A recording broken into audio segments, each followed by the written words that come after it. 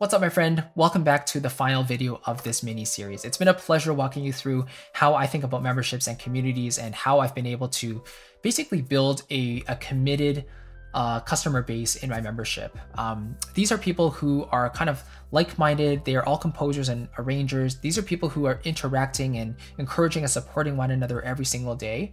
And I couldn't have done it without really just trying to different things, you know, asking my people what they wanted, uh, having those three core components of content, coaching, and community, and really just being there for my people. You know, a lot of it is again they're paying for access to you. They they want to know that you know that they exist and uh, they, they want that personalized access to you every single step of the way so that's what usually what you're providing with a community and a membership.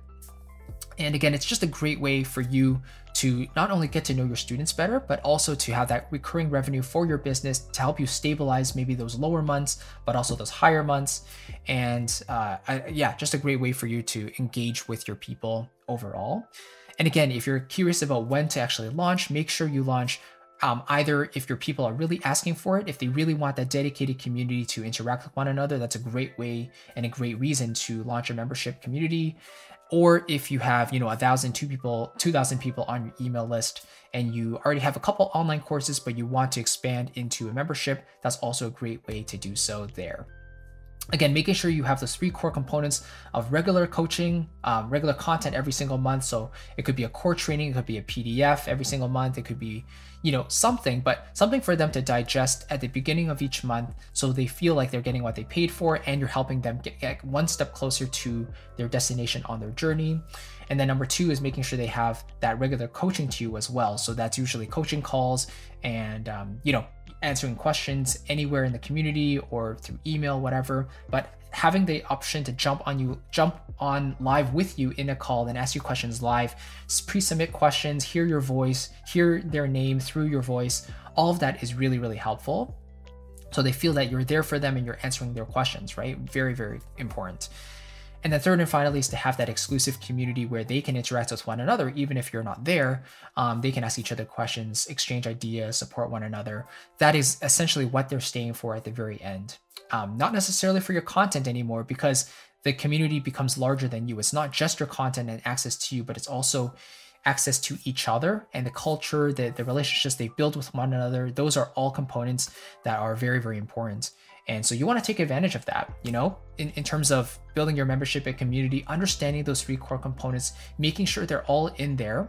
That will set the foundation for your community. And then if you want to introduce anything else in there, like giveaways or challenges or uh, things like that, then you can certainly do that to, to really round it out and make it as great of an experience as possible. But overall, I highly recommend making sure you have those core components, then deciding on your strategy for growing the membership, deciding on your pricing, right? Is it a hobbyist membership? Is it a professional membership? So is it going to be between five and 40 bucks a month or like 50 to 100? And then how are you going to launch it? Is it going to be an open close model? So are you launching it every so often with the doors closed in between? Or is it going to be evergreen and you're just going to have it open on your website or maybe through your email funnels, things like that? And you know, how else are you going to keep members in there as well? Um, are you going to mention mention their names? Are you going to record like videos for them? Uh, are you going to have founder pricing? Are you going to have an onboarding email sequence? Like all of these things contribute to a great membership. And if you go back and watch all those videos we took a look at, parts one through 14, then you'll understand exactly how I do things um, to make my membership as uh, not profitable as possible, not only as profitable as possible, but as engaging and as much of a safe space for my members as possible. So ultimately, a great membership and community benefits both you and the customer very, very well. It gives you a chance to have that recurring revenue, but it also gives your members a chance to get to know you on a deeper level and to know each other. And at the end of the day, if both parties win, then that's all the incentive you need to continue this to the long run and really scale this thing up as much as possible. Okay?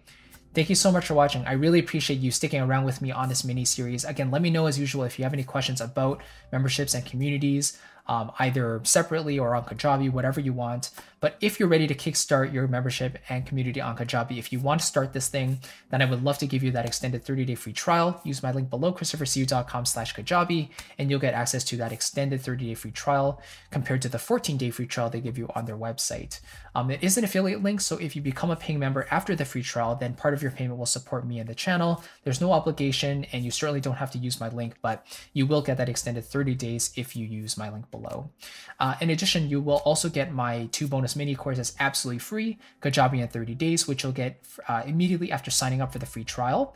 And this will walk you through exactly how to set up things on Kajabi and start making money. And number two is content marketing for creatives, which you'll get after you become a paying member of Kajabi. You can just email me your receipt and I'll forward it to you. And this will walk you through the business model I'm using to, you know, put out content for free, but then monetize my knowledge in the back end. And it's uh, it's super valuable. So both of them I want to give you as a thank you for using my link below. No application, of course, but again, you can get access to that 30-day free trial if you want to use my link below, christophersiu.com slash Kajabi. Thank you so much, my friend. I really appreciate you taking the time. This has been a pleasure to make and a pleasure to go through. And again, let me know if you have any questions along the way. I'm here for your success and I can't wait for you to get started. So I'll catch you in the next one. Thanks again and take care. Bye bye.